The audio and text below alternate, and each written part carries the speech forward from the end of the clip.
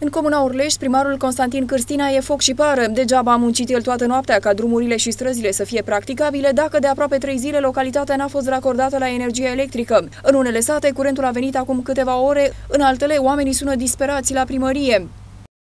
În Alaska eram, dispăream ca națiune până la ora actuală din cauza sau ne încălzeam la, cu grăsimea de foci sau de balene.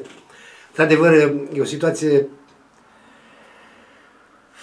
dezastroase pentru locuitori, pentru că vă dați seama, acum depinde foarte mult de utilități, de curent și dacă n-ai curent, n-ai, n-ai nimic, practic. E vorba de copiii mici, sunt multe probleme care sunt apa în gheață, de sunt multe probleme care...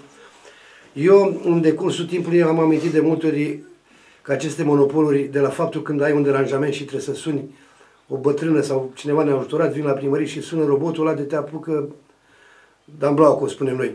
Și nu răspunde nimeni. Uh, curios, ironia sorții, într-adevăr, am, am discutat cu colegii mei primari, indiferent, nu, nu e vorba de politică aici, naționalele ne distrug și ne vor distruge. Este inadmisibil și, repet, inadmisibil ca să produci curent electric, cred că cel mai ieftin, bazine hidrografice, cărbune, să ai curentul cel mai, cel mai scump, să ai petrol și gaze naturale, să ai combustibilul cel mai scump. Este groaznic și nu înțeleg de ce? Domnule, suntem de acord că trebuie să te aliniezi la prețurile din Uniunea Europeană. Bun, mă aliniez la serviciile. Tu nu fă și servicii ca acolo și sunt de acord să plătesc fă-mi cât o fi curentul, dar îți plătesc. Vine vara, vine o mică furtună, crengile pe lăstărișul, împreună firele pică curentul, rămân magazine, fabricuțe, fără curent. Deci aceea este problema. Că suportăm o, o, o oră, două, trei. Intervențiile se fac în funcție de priorități. Bănuiesc că nu au personal.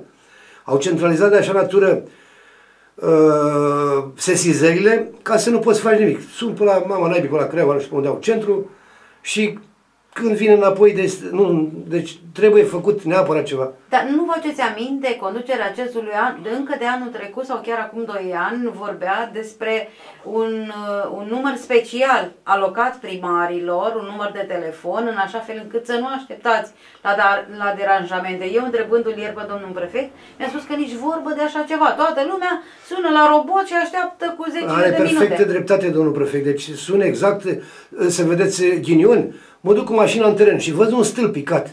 Sunt la robot, pentru că este pericol de electrocutare. Mă întreabă de codul abonat. Băi, nene, eu pe drum am codul abonat să-ți explic unde e în satul Orles, în prima localității, am nevoie să veniți, să trimiteți pe cineva să nu se întâmple un eveniment. Mă întreabă, deci, o întreagă respectă uh, acele proceduri ale lor de, sunt a, așa, n-ai plătit, n-ai plătit curentul, te debranșează.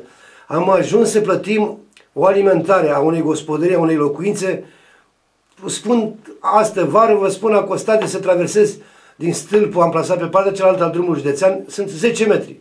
70 de milioane, un fir. 70 de milioane. Deci ne-au pus cu botul pe, pe labe, cum se spune. Deci poporul român este, poporul, oameni în general, poporul, că poporul este în, în general. Uh, am ajuns să nu mai știm nici cum ne numim cu buletinul mână, scuzați-mi expresia. Primarul Constantin Cârstina recunoaște că n-a putut să se bucure de ninsoarea de afară, care era ca de poveste, pentru că se gândea la drumurile pe care le avea de dezăpezit și la problema legată de lipsa curentului electric.